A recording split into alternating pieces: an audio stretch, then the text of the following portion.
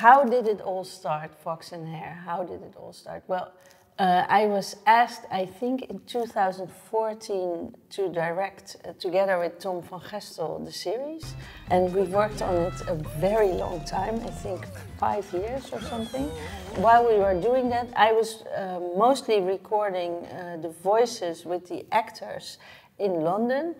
And by doing that, the characters really developed into real funny characters. And um, at Submarine, Janneke and Bruno thought we have to make a movie out of this.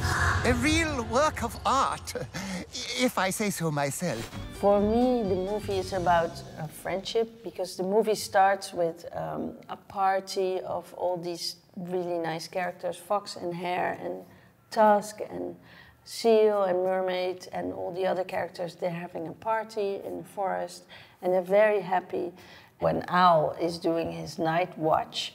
Um, he's high up in the tree and he's looking down and he sees a little stream of water coming in and Owl is very afraid of water. no! Jack! Jack! What's going on with all the water? Don't know. Don't care. His bed hasn't been slept in. Where is he? Where am I? Ah, ah. Welcome. And the flood is being caused by a beaver who built a huge dam to build a really nice underwater lodge because he's a very yeah, grandiose Trump kind of uh, person who uh, wants big things to be done.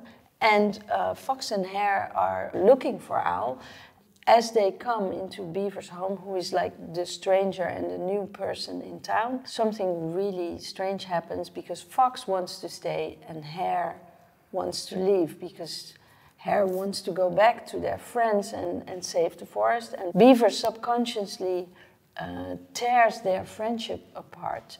And that's, that's what this movie really is about. It's about friendship, uh, making new friends, and reuniting a friendship.